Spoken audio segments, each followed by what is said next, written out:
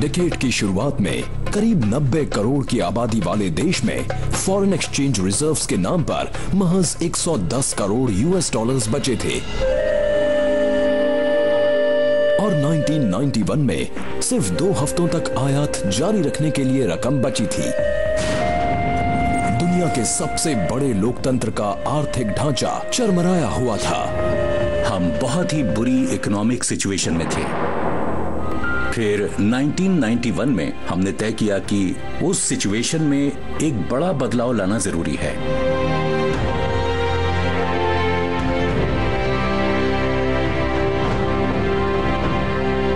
और उसके बाद जो हुआ, उससे पूरी दुनिया भारत पर ध्यान देने के लिए मजबूर हो गई। भारत ने कई दशकों से चले आ रहे नेहरूवियन सोशलिस्ट ऑर्डर को छोड़कर ओपन इकोनॉमी को अपना लिया। इसने इंडस्ट्री को एक नई सोच दी और लोगों का नज़रिया बदला और एक नए किस्म का जोश इस कंट्री में दिखाई दिया। और लोग ये कहने लगे कि नई चीज़ों को ट्राई करने में कोई बुराई नहीं है। मुझे याद है एक सीनियर एडिटर मेरे पास आए और बातों ही बातों में उन्होंने कहा, पता है मेरा बेटा जिसकी अभी नौकरी लगी है, वो मुझसे भी ज़्यादा पैसे कमा रहा है। एक ऐसे समय पर, जहाँ एक नौजवान भारत अपने पैर जमा कर उड़ान भरने को तैयार हो रहा था, एक युवा किसी के बुरे मंसूबों और साजिश का निशाना बनने वाला था। I am young and I too have a dream I dream up in India strong independent self reliance and the front rank of the nation of the world the service of mankind. हर कोई सदमे में था, गुस्से में था, दुखी था मेरे लिए तो ये बात बहुत ही दुख पहुँचाने वाली थी, क्योंकि वो मुझे अच्छे से जानते थे और मैं उन्हें भ्रष्टाचार के आरोपों से जूझते हुए राजीव गांधी और कांग्रेस 1989 के जनरल इलेक्शंस हार चुके थे। राजनीति में अस्थिरता अपने चरम पर थी। देश 1991 में फिर से चुनाव की ओर जा रहा था और राजीव गांधी के पास एक बार फिर बागडोर संभालने का मौका था।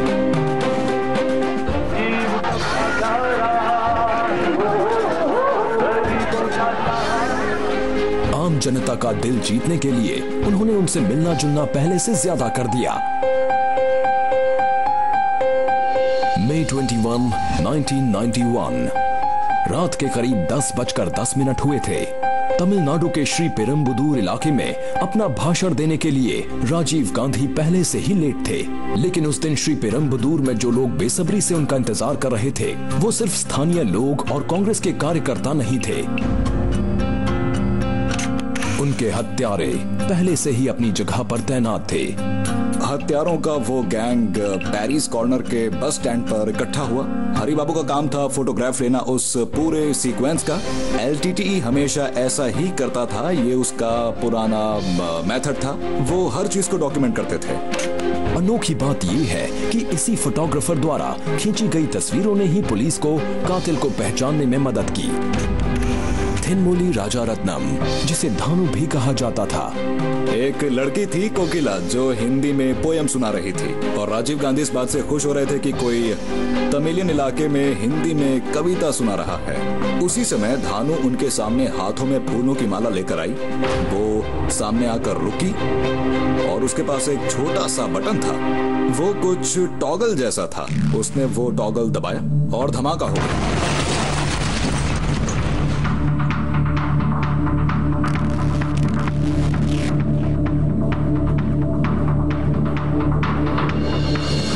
एक बड़ा ही जोशीला इलेक्शन कैंपेन। भारत के सबसे बड़े सियासी परिवार के नौजवान करता धरता और एक भयानक हत्या। जाँच पड़ताल से एक और शर्मनाक कहानी सामने आई।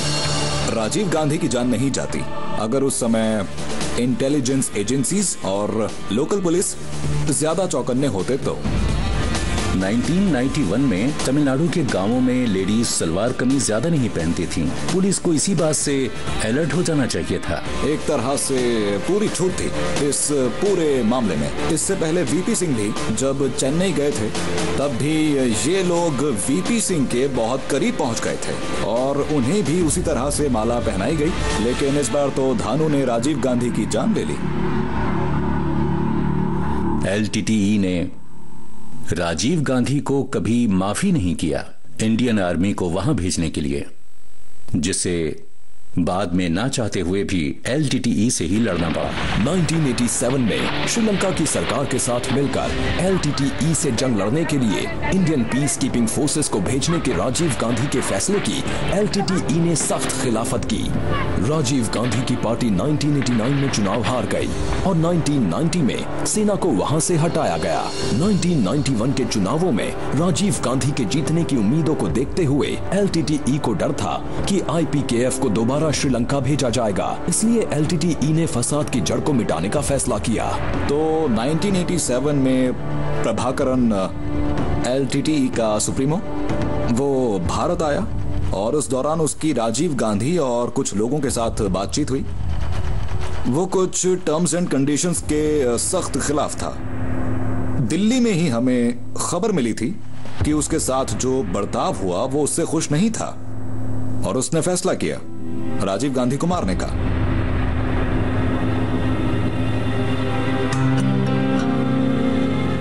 गांधी परिवार के सदस्य की अंतिम यात्रा के दौरान पूरा देश गहरे सदमे में था।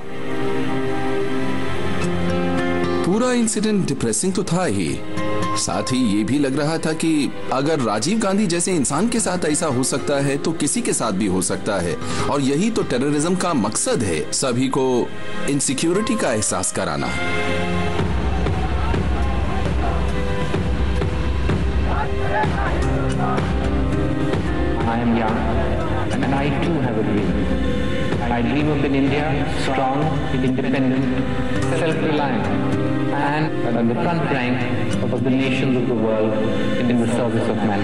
एक युवा दूरदर्शी का सपना तो अधूरा रह गया पर 90s बड़े सपने देखने वाले एक युवक की उड़ान के लिए सही था। और उनके बड़े सपनों का उनकी छोटी उम्र से कोई लेना देना नहीं था। I was in love with Sachin Tendulkar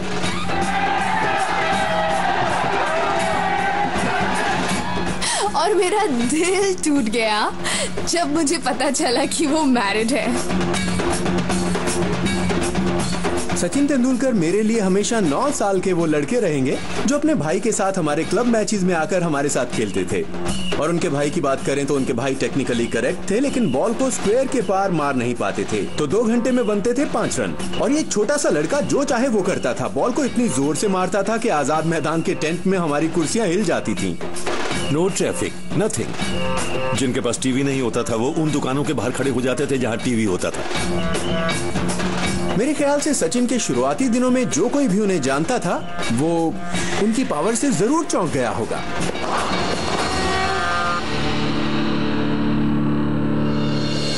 अगस्त 1990 में मैनचेस्टर के ओल्ड ट्रैफर्ड में टेस्ट सेंचुरी से लेकर ऑस्ट्रेलिया में अनबीटन 114 रनों तक। और फिर मिड 90s में वो इंडिया के ओपनिंग बैट्समैन बन गए। सचिन अब सिर्फ़ एक क्रिकेटर नहीं थे। मैं कभी भूल नहीं सकती द डेजर्ट स्टॉर्म वो शारजा का मैच जब पूरा स्टेडियम खड़े होकर उनके लिए तालियाँ बजाने लगा। मेरे लिए तो वो उनका सबसे आइकॉनिक मोमेंट था।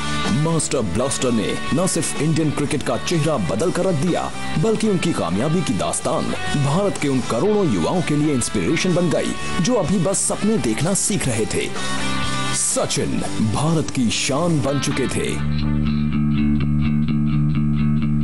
एक जर्नलिस्ट के तौर पर मुझे याद नहीं आता कि 14 साल की उम्र में किसी भी खिलाड़ी की अ, उस कदर तारीफ़ हुई हो जिस कदर सचिन तेंदुलकर की हुआ करती थी। पर कई लोगों का मानना है कि इस लेजेंड को एक बड़ा फ़ायदा मिला और वो है वो शानदार दौर जिसमें वो खेल रहे थे। 90s में सैटेलाइट टेलीविज़न की भी भारत में शुरुआत हुई। और तेंदुलकर को इंडियन टेलीविज़न का पहला सैटेलाइट स्पोर्ट्स हीरो कहा जा सकता है। Boy, Sachin, have a Pepsi. Pepsi. Nothing official about it. Aha! Gavaskar black and white जमाने के हीरो थे कपिल देव 80s में छाए हुए थे वो ट्रांजिशन पीरियड था कलर टेलीविज़न की ओर। पर satellite television Sachin Tendulkar satellite television के पहले आइकन हैं। उनका अचीवमेंट सिर्फ़ उनका ही है। पर मुझे लगता है कि वो अचीवमेंट पूरी दुनिया के सामने लाया गया क्योंकि अचानक इंडिया एक मार्केट बन चुका था। जैसे ही मार्केट्स खुले खूब सारे प्राइवेट टेलीविज़न चैनल्स और इंटरनेशनल ब्रांड्स भारत को आजमाने और परखने के लिए आए और दोनों ही उन नए हीरोज की तलाश में थे जो लोगों में दिलचस्पी जगाकर कारोबार बढ़ाएँ। और तेंदुलकर परफेक्ट पैकेज थे। सचिन जैसे इंसान ने जिस तरह का टैलेंट जो कामयाबी हासिल की है और जिस तरह का मीडिया एक्सपोजर खासकर टेलीविज़न ने उनको दिया they became larger and larger and larger than life वो चाहे फ़ील्ड पर हो या उसके बाहर, पूरा देश एकजुट होकर सचिन का गुणगान कर रहा था। लेकिन उसी डेकेड में कहीं और, एक बड़े पैमाने का झगड़ा फसाद अपने चरम पर पहुँच रहा था। कश्मीर, एक रोमांटिक सॉन्ग लोकेशन से बदलकर मतभेदों और राजनीति का केंद्र बनने जा रहा था।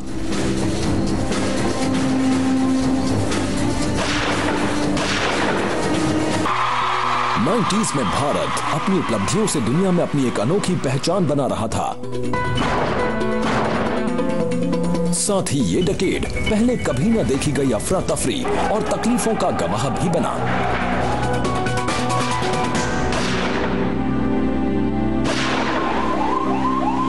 मेरे जैसे आम इंसान का कश्मीर में जाने पर रोक लगाया जाना एक बहुत बड़ा झटका था।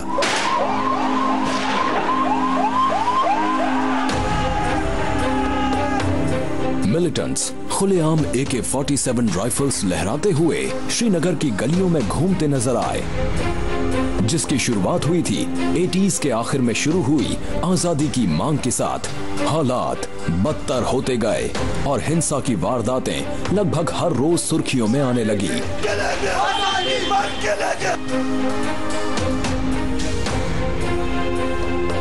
मैंने जहाँ पर अपना बचपन बिताया है, वो है कश्मीर। उसे उस दर्द और उथल पुथल से गुजरता देखकर, और किसी भी मज़हब पर किसी भी किस्म का हमला होना, ये इंसानियत के लिए खतरे की घंटी है।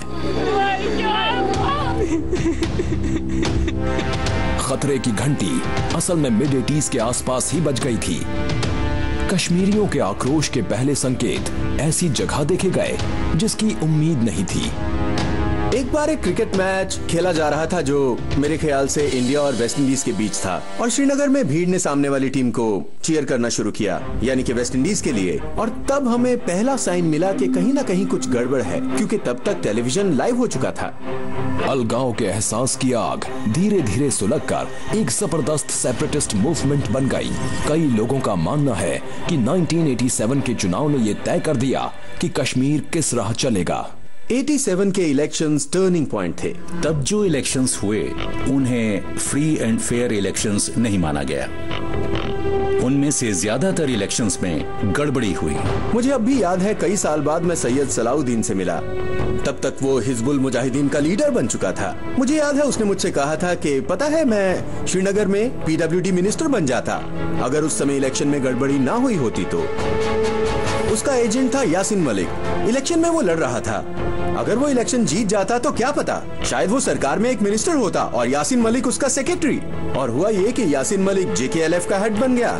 और सलाउद्दीन हेड बन गया हिजबुल मुजाहिदीन का। आने वाले डेकेड में हिजबुल मुजाहिदीन और जम्मू कश्मीर लिबरेशन फ्रंट दोनों आतंकवाद का माहौल फैलाकर आज़ाद कश्मीर की मांग करने लगे। इससे घाटी में हमेशा के लिए सांप्रदायिक तनाव बन गया।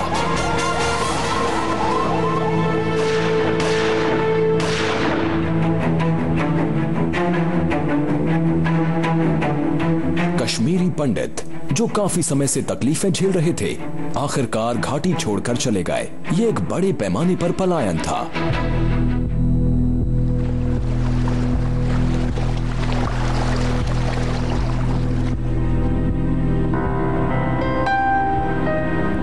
जब भी मैं कश्मीर जाता हूँ तो बहुत दुखी होकर लौटता हूँ। वो दुनिया की सबसे खूबसूरत वादियाँ हैं, लेकिन वहाँ हिंसा हमेशा के लिए है। I mean it's beautiful but frozen घाटी की हर दीवार पर गोलियों से बने छेद दिखने लगे और 90s एक इमारत को गिराए जाने का गवाह भी बना, जिससे पूरे देश में सांप्रदायिक तनाव पैदा हो गया।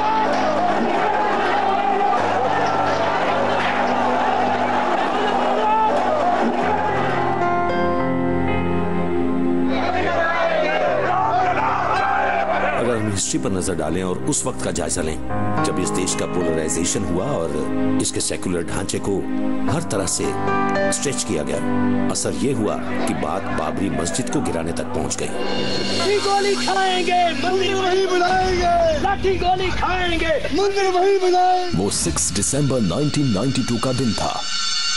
उत्तर भारत के कार सेवकों की एक बहुत बड़ी भीड़ अयोध्या में बाबरी मस्जिद की तरफ़ बढ़ी। उनके सर पर जुनून सवार था कि किसी भी हाल में उन्हें राम जन्मभूमि को दोबारा अपने कब्जे में लेना है।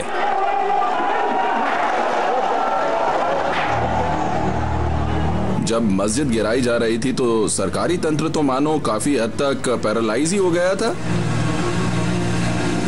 बाबरी मस्जिद के गिराए जाने से हिंदू मेजोरिटी के एक्सट्रीम एलिमेंट्स को एक मकसद मिला। चलो अब राम मंदिर बनाते हैं। अडवाणी जी इस अपॉर्चुनिटी को भाप गए। कहा राम का जन्म हुआ था दोनों धर्मों के कट्टरपंथियों ने आवाज़ उठाई और नतीजे के तौर पर हुई भारी तबाही। लेकिन जो बाबरी मस्जिद को गिराने खुद वहाँ मौजूद थे उनके लिए ये उस किस्से का खात्मा था जिसकी शुरुआत 90s में हुई थी। जो हिंदू हित की बात करेगा वही देश पे राज करेगा। मुझे अब भी याद है रथ यात्रा का वो नारा। 25 सितंबर 1990 बीजेपी के अनुभवी नेता एल के आडवाणी अपने टोयोटा के रथ पर गुजरात के सोमनाथ मंदिर से निकल पड़े। बीजेपी के एक और बड़े नेता, स्वर्गीय प्रमोद महाजन के रथ का सुझाव देने से कार सेवकों और वॉलंटियर्स को जुटाने में कामयाबी मिल रही थी। रथ यात्रा ने सांप्रदायिकता को एक बड़ा राजनीतिक मुद्दा बना दिया। इस यात्रा में ज़बरदस्त नारेबाजी हुई और खूब भड़कीले भाषण भी दिए गए। जो हमारे मन में है वो हमारी वाणी पर है। जो हमारी वाणी पर है वो हम कृति में उसको कार्यान्वित करते हैं। और यदि बाबा के नाम की मस्जिद नहीं बनेगी तो क्या बनेगा? बोलो क्या बनेगा?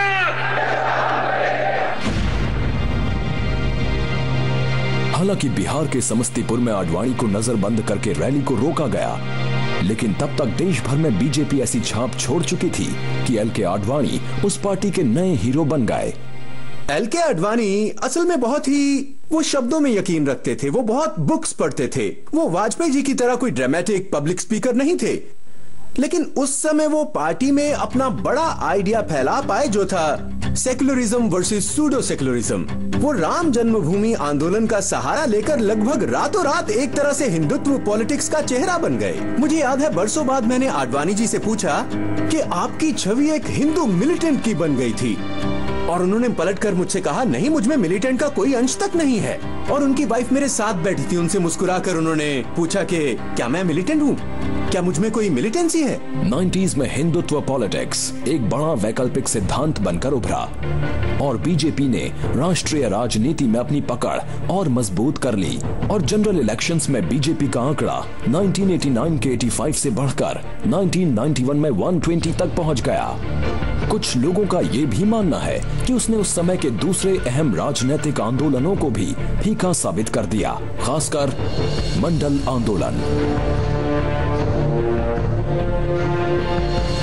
1979 में स्थापित बीपी मंडल कमीशन ने सुझाव दिया कि अदर बैकवर्ड क्लासेस यानी कि ओबीसी को सरकारी नौकरियों और शैक्षिक संस्थानों में खास कोटा दिया जाए। वीपी सिंह की सरकार ने सारे सुझावों को 1990 में अमल करने का फैसला किया। अब ओवरऑल रिजर्व्ड कोटा बढ़कर 49.5 परसेंट हो गया। नतीजा ये हुआ कि समाज के कुछ वर्गों से हिंसात्मक प्रतिक्रिया देखने को मिली।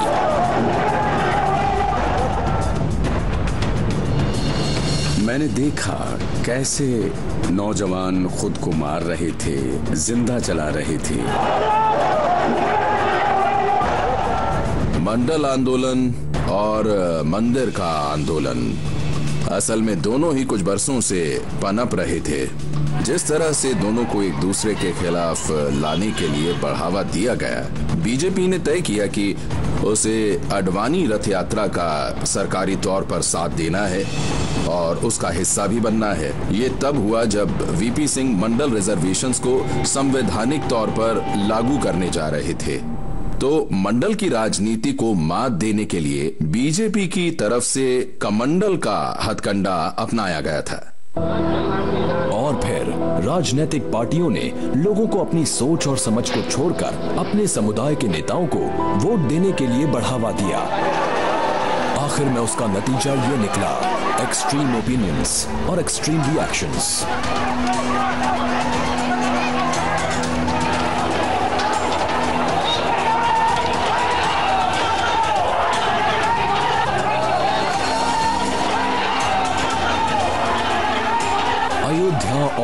वाराणसी जैसे उत्तर भारतीय शहरों से लेकर मध्य भारत में भोपाल से लेकर पश्चिम में सूरत तक, देश के कोने कोने से दंगों की खबरें आ रही थी। लेकिन जिन शहरों पर सबसे गहरा असर पड़ा, उनमें से एक ऐसा शहर था, जिसे अपने कॉस्मोपॉलिटन कल्चर पर नाज था, Mumbai. M TV pop music satellite television mobile phones और इंटरनेट 90s में कई नए शब्द भारतीयों की ज़ुबान पर सुनाई देने लगे लेकिन साथ ही सांप्रदायिकता मंदिर और मंडल जैसे शब्दों का मतलब ही बदल गया भारत की सेक्युलर छवि बर्बाद हो चुकी थी और पूरा देश आग की लपटों से घिर चुका था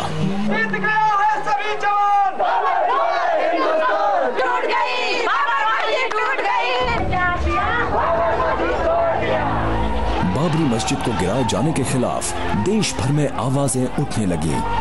कई शहरों में दंगे फसाद की खबरें आने लगी, लेकिन इन दंगे फसादों का केंद्र बना मुंबई। किसी को पता चलने से भी पहले हसीन सपनों का यह शहर अचानक एक ऐसा डरावना सपना बन गया, जिसे देखकर एक आम मुंबई कर दहल गया। हम एक्चुअली एयरपोर्ट पर फंस गए, क्योंकि उन्होंने कहा इट्स बेटर कि अगर आप टेक ऑफ़ करके मुंबई में लैंड ना करें क्योंकि मुंबई के uh, हालात ठीक नहीं है.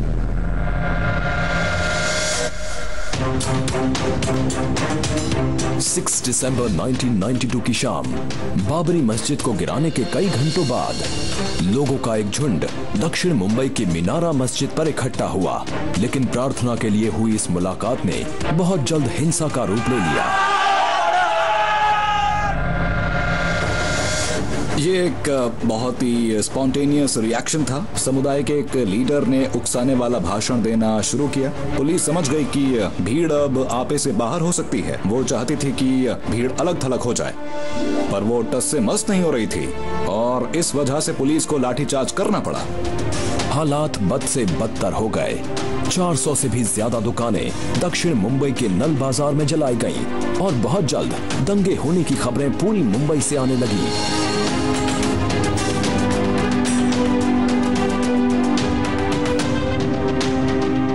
बाद शहर के कई हिस्सों में कर्फ्यू लगाया गया। जिस शहर में मैं पला बढ़ा, उसका ये हाल देखना। आई स्टिल लव मुंबई मैं मोहम्मद अली रोड जाता था। ईद के दौरान।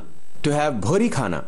और फिर बड़े होकर ऐसे इलाकों से रिपोर्ट करना जो जल रही थी और हर तरफ़ से धुआँ उठ रहा था। मज़हब के नाम पर जो हो रहा था मुझे उससे नफरत हो रही थी। हम बच्चे थे और ये समझ नहीं पाए कि धर्म या मज़हब के लिए एक दूसरे का कत्ल करने की ज़रूरत क्या थी। करीब तीन हफ्तों बाद दंगे रुक तो गए लेकिन ये राहत सिर्फ़ कुछ देर के लिए ही थी। सिर्फ़ एक महीने बाद दंगों का दूसरा दौर शुरू हो गया। भिंडी बाज़ार में एक सड़क थी, जिसके एक तरफ़ हिंदू रहते थे और दूसरी तरफ़ मुसलमान। और अचानक वो एक दूसरे के खिलाफ नारेबाजी कर रहे थे। और हमें ये महसूस होने लगा था कि मेरी मासूम खूबसूरत मुंबई को क्या हो गया है? सड़क के एक तरफ़ के हिंदू और सामने वाले मुसलमान एक दूसरे के खून के प्यासे हो चुके थे। बहुत सारा डैमेज हुआ था, कई लोग मारे गए थे, बहुत सारी प्रेशियस लाइफ ये हम सब के लिए एक बहुत बड़ा झटका था मोर देन एनीथिंग एल्स एक ऐसा झटका, जिसमें मुंबई जैसे कॉस्मोपॉलिटन सिटी में 900 लोगों की जान गई और शहर दो टुकड़ों में बट गया। पर मुंबई के लोग इस बात से अनजान थे कि सबसे बड़ा झटका तो अभी बाकी है। एक मामूली झगड़े ने पूरे शहर को हिला कर रख दिया।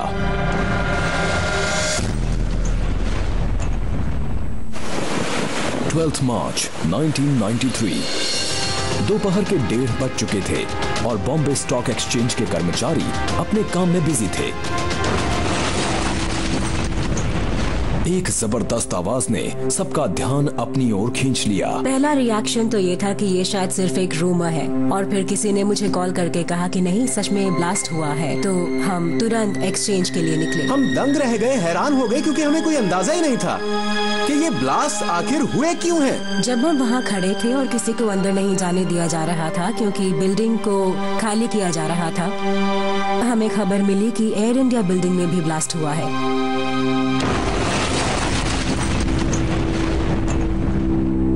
शहर में दो घंटों में दस बॉम्बिंग्स हुई और दो जगहों पर टाइगर मेमन के गुंडों ने अपने हाथों से हैंड ग्रेनेड्स भी फेंके। Ibrahim tiger Memon underworld don Dawood Ibrahim के खास करीबी साथियों में से एक था। दाऊद डी कंपनी का लीडर था जो दुनिया की सबसे खतरनाक क्रिमिनल ऑर्गेनाइजेशंस में से एक है। हम सब इस बात से डरे हुए थे कि न जाने अगला ब्लास्ट अब कहाँ होगा। साथ ही साथ ये भी लगा कि उन्होंने ऐसा किया क्यों? कोई इस शहर के साथ ऐसा कैसे कर सकता है? 1993 में हमें टेररिज्म के बारे में ज़्यादा पता नहीं था। हम अंडरवर्ल्ड के बारे में जानते थे। हम दाऊद इब्राहिम जैसों को जानते थे। उनके गन फाइट्स की खबर थी। पर हमें आरडीएक्स का नहीं पता था। मुझे याद है तब के पुलिस कमिश्नर मिस्टर सामरा ने मुझसे कहा राजदीप इन बॉम्ब ब्लास्ट में आरडीएक्स का इस्तेमाल हुआ है। मैंने पूछा sir RDX what is this RDX आम इंसान अब आरडीएक्स जैसे शब्दों से वाकिफ हो रहा था जिस ब्लास्ट ने दो सौ सत्तावन लोगों की जान ली और 700 से ज़्यादा को घायल किया। उसने पुलिस को भी परेशान कर दिया था लेकिन बहुत जल्द मुजरिम का पता चलने वाला था। एक चार्टर्ड अकाउंटेंट मेरे पास आए और उन्होंने मुझे बताया कि मेमन का भाई कई लोगों को काफ़ी भारी रकम ट्रांसफ़र करके भाग चुका है। ये तो बिल्कुल बदला लेने जैसा था। ये एक चेतावनी थी कि अगर हमारे खिलाफ कुछ किया गया तो हम तुम्हारे शहर का भी ऐसा ही हाल करेंगे।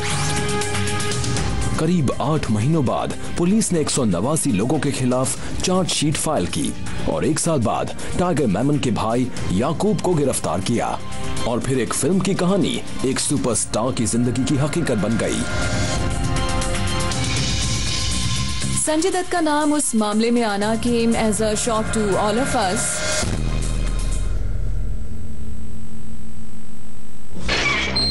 Sanjay Dutt. उस वक्त एक बड़े बॉलीवुड स्टार थे और उन पर अपने पास गैर कानूनी तौर पर ए के फिफ्टी सिक्स राइफल रखने का आरोप लगा।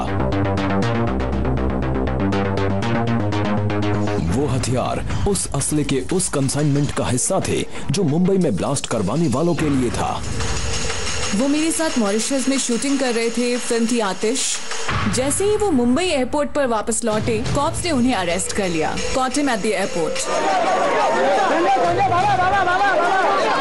Sanjay Dutt, आतंकवाद के इल्ज़ाम से तो बरी हो गए, लेकिन उन्हें गैर कानूनी तौर पर हथियार रखने के लिए पाँच साल की कैद की सजा सुनाई गई।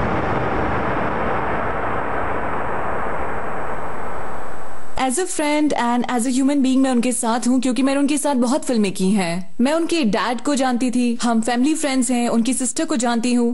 कभी कभी ऐसा लगता है, नहीं, ऐसा नहीं हो सकता। पर हमें हमारे जुडिशियल सिस्टम पर पूरा भरोसा है और अल्टीमेटली सच्चाई ही जीतेगी। वो बेशक अंडरवर्ल्ड के साथ मेल जोल रखने के लिए कसूरवार है, अपने घर पर हथियार रखने देकर अंडरवर्ल्ड की मदद करने के लिए वो सजा के हकदार हैं। लेकिन मेरा पॉइंट इसमें यह है कि 90s की शुरुआत में अंडरवर्ल्ड जो कि फ़िल्म इंडस्ट्री का हिस्सा था, अचानक टेररिस्ट बन जाता है। याकूब मेमन जो एक चार्टेड अकाउंटेंट है टेररिस्ट बन जाता है। एक ट्रैवल एजेंट टेररिस्ट बन जाता है। तो इन पाँच महीनों ने मुंबई को बदल कर रख दिया, शायद संजय दत्त को भी।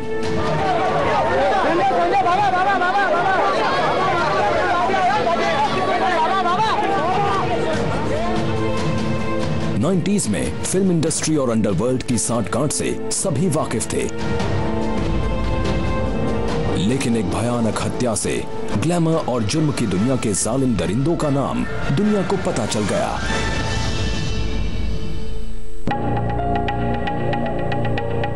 म्यूज़िक मुगल गुलशन कुमार ने फिरौती की रकम देने से इनकार कर दिया। बदले में उनकी बिल्कुल फिल्मी अंदाज में जान ले ली गई। दिन दहाड़े उन पर सोलह गोलियाँ दागी गईं। ट्वेल्थ अगस्त 1997 जब मिस्टर गुलशन कुमार को बड़ी बेरहमी से अंधेरी के जीत महादेव मंदिर के बाहर मारा गया था, लोगों को अब भी याद है कि वो कैसे रेंग रहे थे और कैसे अबू सलेम फ़ोन पर उनकी चीखें सुन रहा था मकसद सिर्फ़ बॉलीवुड को डराना था और बॉलीवुड इससे काफ़ी हद तक डर भी गया था कई लोगों का मानना था कि बॉलीवुड एक बेरहम दुश्मन को झेल रहा है, जो इनके डर के सहारे पनप रहा था। आई थिंक अनफेयर होगा एक्चुअली कंडेम करना फ़िल्म स्टार्स या फ़िल्म इंडस्ट्री को of being hand in hand with the underworld क्योंकि वो वक्त ऐसा था जब कोई चॉइस ही नहीं थी। मुझे याद है ऐसे कई इंसिडेंट्स जब लोगों को फ़ोन पर धमकियाँ दी जाती थी। Uh, अगर तुम यहाँ पर नहीं आए या इस शो में नहीं दिखे तो देखना तुम्हारे परिवार का क्या हाल होगा।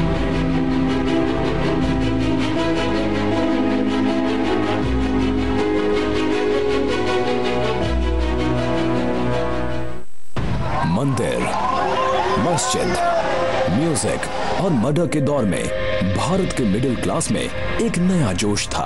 उसमें इतना कॉन्फिडेंस था कि इंटरनेशनल प्लेटफॉर्म्स पर छा सके।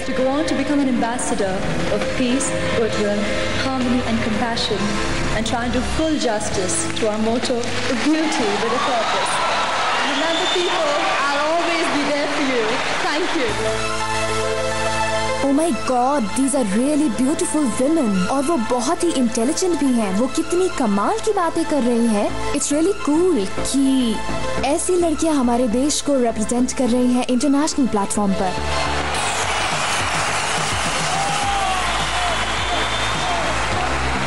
1994 इंटरनेशनल ब्यूटी पेजेंट्स के इतिहास में पहली बार एक ही साल में मिस यूनिवर्स और मिस वर्ल्ड का ताज इंडियन ब्यूटीज के सर पर सजा। उस इवेंट की पहली झलक देखकर मैंने कहा वाओ! क्योंकि आप आप नहीं सोचते कि इंडियन लड़की मिस यूनिवर्स या मिस वर्ल्ड जीतेगी। ये तो पश्चिमी देशों की लड़कियाँ जीतती थी वेनेजुएलियन गर्ल्स और एक देश जो ग्लोबलाइज्ड इकोनॉमी के दौर में आकर खुद को मज़बूत बना रहा था अचानक खुशी से चौंक गया था। We all were very very proud वो एक बहुत ही बड़ा पल था। Uh, हमारे लिए सुष्मिता सेन और ऐश्वर्या राय का उन ब्यूटी टाइटल्स को जीत कर लाना। यहाँ सभी हैरान हो गए। इससे ब्यूटी को इंडियन ब्यूटीज को एक नई पहचान मिली एंड इट एम्पावर्ड वुमेन लेकिन हर कोई इंडियन ब्यूटी की जीत से खुश नहीं था। इसे कॉन्स्पिरेसी कहने के कई रीजन हैं। और सच कहूँ तो मेरी एक सोच ये भी है कि यू नो मैं सुश या दिया में कोई कमी नहीं देखता। वो सभी डिजर्विंग विनर्स हैं। लेकिन जैसा कि मैंने पहले कहा था you know I tell you why Indians are winning all the time this is the cosmetic industry जो इंडिया में आना चाहती हैं। पहले उन्होंने साउथ अमेरिका में पैर जमाया। इसलिए वो जीत रही थी। And now Indians are winning क्योंकि कॉस्मेटिक इंडस्ट्री अब यहाँ जमना चाहती है। मैंने देखी है वो behind the scene thing marketeers तय करते हैं कि कौन सा देश कौन सी लड़की जीतेगी। लड़की तो नहीं, पर देश वही चुनते हैं। और वो देख पा रहे थे कि इंडिया के कंज्यूमर्स खर्च करने लगे हैं और उनके खरीदने की ताकत बढ़ती जाएगी। एक नए तरीके का मार्केट सबके सामने था और इन लड़कियों को बड़े प्राइजेस देना और फिर इन्हें प्रोडक्ट्स का एम्बेसडर बनाना तो शायद इससे इन प्रोडक्ट कंपनीज़ को तो फ़ायदा पहुँचा ही होगा। Talking with her eyes, walking like a winner, she'll take you by surprise. She's got the look. She's got the look. Beauty industry global होने के लिए तैयार थी तो शायद वो सही समय पर सही जगह पर थे इन दो बड़ी जीतों से भारत की ब्यूटी इंडस्ट्री कितनी चमकने लगी ये तो बहस का मुद्दा है लेकिन 90s ने इस देश और उसकी महिलाओं को वो बढ़ावा दिया जिसकी सख्त ज़रूरत थी इन दोनों लड़कियों के बारे में और उनकी कामयाबी के बारे में कुछ अलग बात तो ज़रूर थी तो हाँ इससे एक एक एक तरह की दिलचस्पी बढ़ गई इस प्लेटफॉर्म की तरफ़ दो और भारतीय लड़कियाँ, युक्ता मुखी और डायना हेडन को भी उसी डेकेड में कुछ समय बाद वो शानदार खिताब मिले और नई सदी में आम ज़िंदगी जीने वाली कई लड़कियाँ लगातार आगे आईं ताकि वो ग्लैमर की दुनिया में छा जाएँ। मैं कहूँगी कि सुष्मिता और ऐश्वर्या ने इंटरनेशनल पैजेंट्स जीतकर इंडिया की लड़कियों को एक नई उम्मीद दी। इससे उन्हें ये आइडिया हो गया कि ब्यूटी कॉम्बिनेशन हो सकती है लुक्स और ब्रेन्स का। उन दोनों ने आगे बढ़कर दुनिया को जीत लिया और वो पल इस देश के लिए बड़ा पल था। हमारी पहचान बन गई। सचिन तेंदुलकर, सुष्मिता सेन, ऐश्वर्या राय, और क्या चाहिए आपको?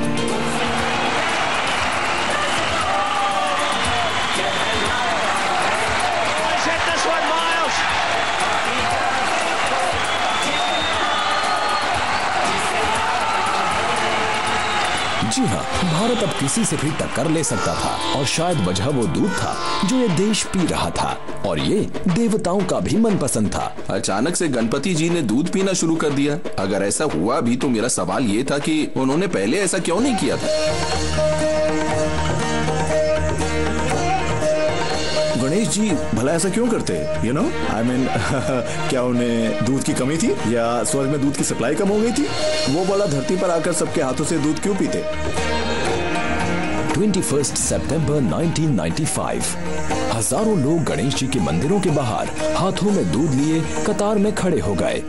आखिर गणेश जी स्वयं अपने प्रिय भक्तों के हाथों से दूध जो पी रहे थे। कैन यू एवर इमेजिन कि पूरा देश बैठकर गणेश जी की मूर्ति को दूध पिलाने की कोशिश कर रहा है और और दूसरी तरफ़ न्यूज़ चैनल्स तो इसे दिखाकर खूब फ़ायदा उठा रहे थे, ज़्यादातर सभी चैनल वैसे तो पूरे देश के साथ साथ इंटरनेशनल मीडिया भी दूध पीती मूर्तियों का चमत्कार देखने में मशरूफ थी, लेकिन असली चमत्कार तो कहीं और ही हुआ। दूध की बिक्री में सीधे 30 परसेंट का उछाल आया। इस डेकेड में उतार चढ़ाव के कई दौर आए। देश ने दिव्य चमत्कार के पल भी देखे। पर मुंबई के एक हिस्से से एक आदमी पूरे बाज़ार से दोनों हाथों से रुपए बटोर रहा था। मिस्टर रानीना जो कि चेयरमैन थे उनकी कंपनी के, उन्हें कहते थे Amitabh Bachchan of stock markets.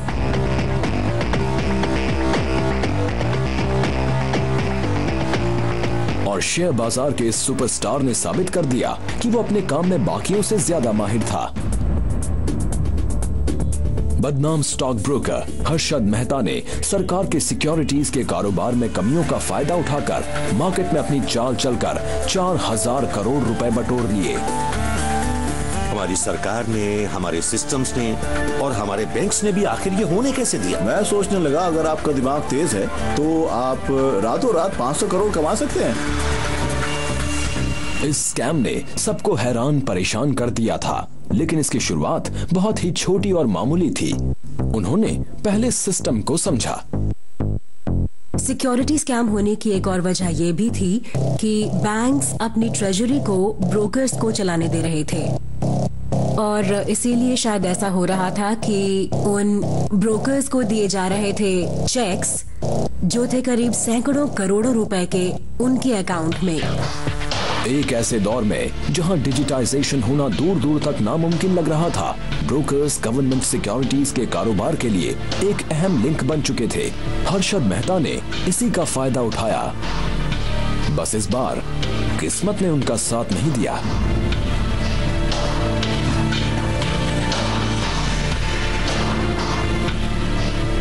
तो एक चेक इशू किया गया स्टेट बैंक ऑफ़ इंडिया से हर्षद मेहता के लिए और जिस इंसान ने उसे निकालने की इजाज़त दी, स्टेट बैंक ऑफ़ इंडिया से वो छुट्टी पर था।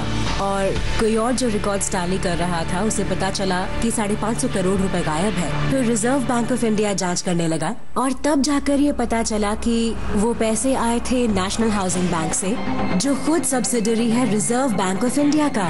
ओके तो तब जाकर ये बात साफ़ हुई कि इन ब्रोकर्स के हाथ तो रिज़र्व बैंक ऑफ़ इंडिया तक पहुँचे हुए हैं। स्टॉक कारोबार की दुनिया में सभी सोचते रहे कि ये गंदगी कहाँ तक फैली है। लेकिन स्टॉक मार्केट का ये अमिताभ बच्चन कहानी में ऐसा ट्विस्ट लेकर आया जिसे फ़िल्म बनाने वाले भी सीख सकते हैं। और फिर हुई एक बड़ी प्रेस कॉन्फ्रेंस जिसमें राम जेठमलानी और महेश जेठमलानी ने कहा कि प्राइम मिनिस्टर को रिश्वत दी गई है। मुझे लगता है कि ऐसा बिल्कुल हुआ था। मामला ठंडा पड़ गया क्योंकि अंदर ही अंदर समझौता कर लिया गया। जी हाँ।